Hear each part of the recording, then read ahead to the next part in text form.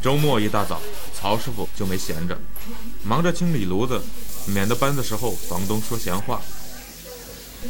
上暂时帮不上手，到学校附近骑车玩去了，结果碰到一奇怪的探宝人。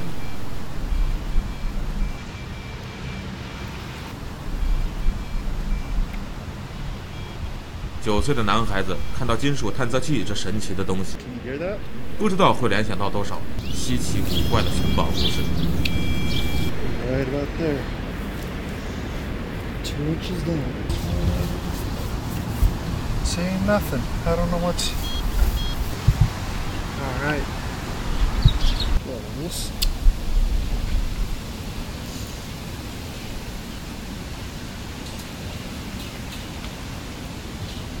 Tin foil. It happens. Find more garbage than you do change. I found most of these in the playground over there, in the sand. I found the loony right over by that tree over there.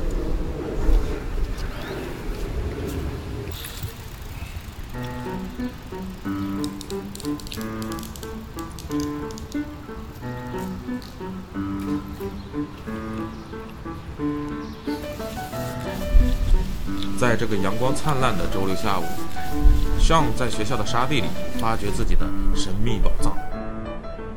曹师傅在家里一件件的装起家当，爷儿俩一个探寻美好的梦想，不着边际却乐趣无穷；一个处理琐碎的搬家杂事，平淡无趣，但又必不可少。这就是大人和小孩子的分工不同吧。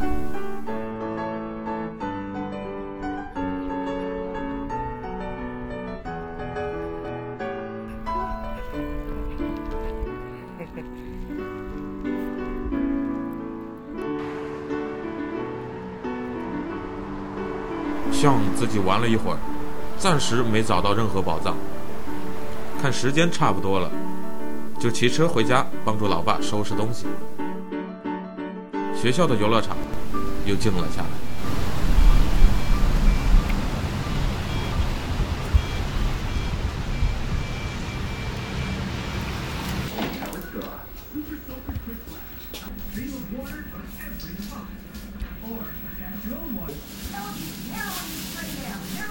曹师傅将所有东西已经分类装好。等一下就会全部运到一个自助式存储仓库里。回国的几个月，东西就全放在那里。了，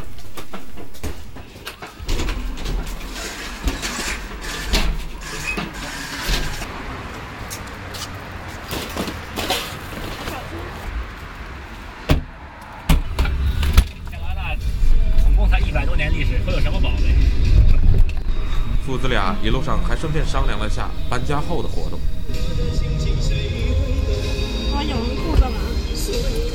哇，我不能光着屁股去游泳吧？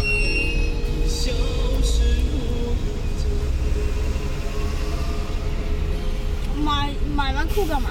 游泳啊？我还是要去骑车呢。那你去骑车我去游泳好吧？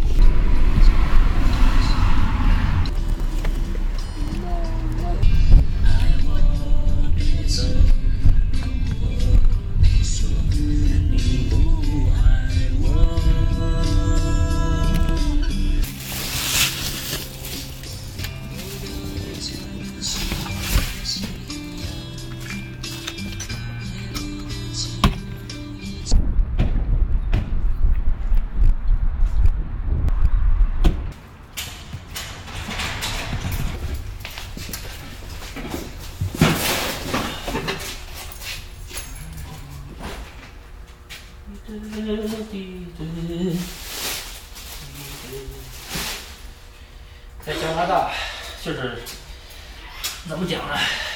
比较独立，嗯我觉得挺好。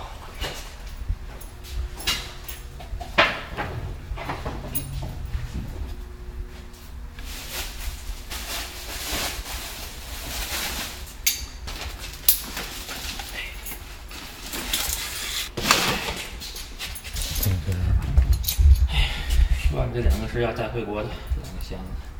这两个那为什么放到这里面呀？我不放这，我放哪儿啊？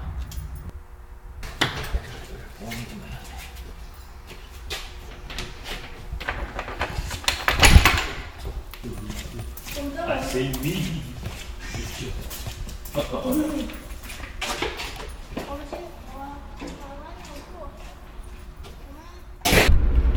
真赶上点雨了。虽然下起了小雨，两人兴致不减，去 Walmart 买泳裤，准备游泳。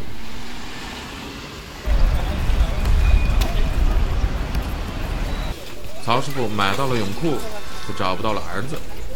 原来上在玩具区流连忘返。你下次能不能考个？如果能，你就能考 A，你就拿着；不能考 A，你就放弃。There's the connect. OK。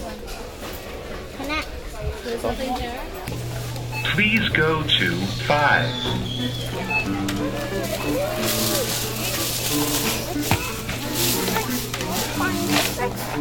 父子达成协议，上玩具到手，到家里还兴奋不已地在网上研究自己机器人的特性，直到老爸一声召唤，两人开始玩水。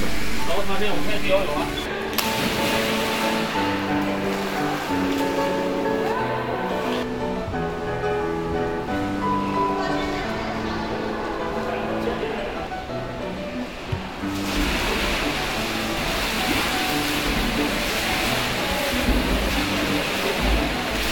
父子俩水性都不错，善于蝶泳。曹师傅还自豪地夸上，说他的手型比自己的都要好。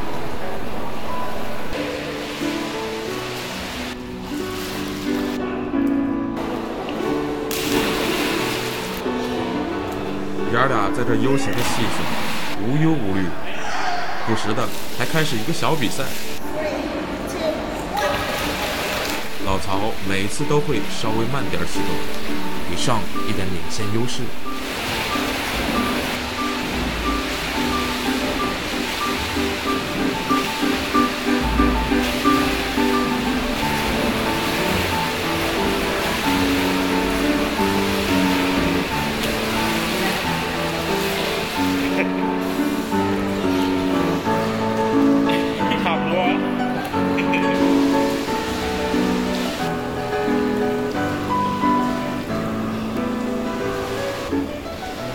曹师傅说，上从小就喜欢水，在中国三岁的时候第一次带他去游泳时，一眼没看好，就自己跳到水里开始扑腾。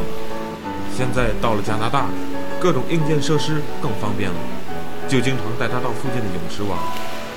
和其他的爸爸一样，曹师傅不只想让尚有一个好的学习成绩，也想让他有一个健康的体魄、开阔的胸怀。所以各种户外活动从来没有间断过。